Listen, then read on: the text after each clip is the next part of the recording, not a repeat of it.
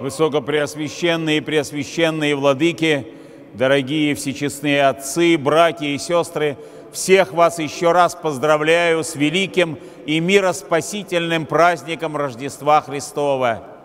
Явленная роду человеческому божественная сила через рождение Господа Иисуса в угобогой Вифлеемской пещере пусть поддерживает каждого из нас в нашей жизни, в наших мыслях, в наших делах, в наших намерениях, во всем том, что составляет действие человека в окружающем его мире.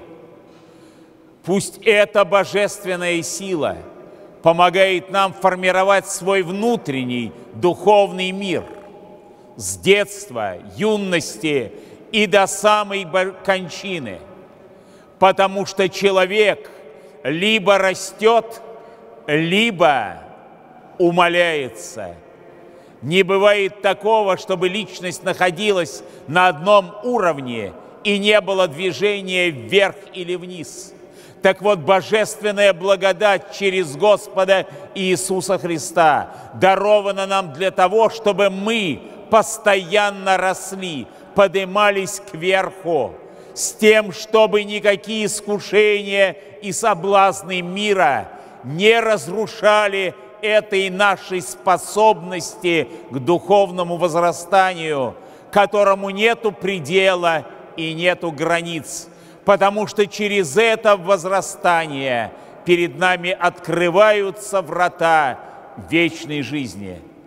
Пусть Господь, родившийся в Вифлеемской пещере, прикоснется каждому из нас силой своей благодати, дабы мы могли обрести радость и мир в этой жизни – и спасение в жизни вечной. Аминь. С праздником поздравляю вас, мои дорогие.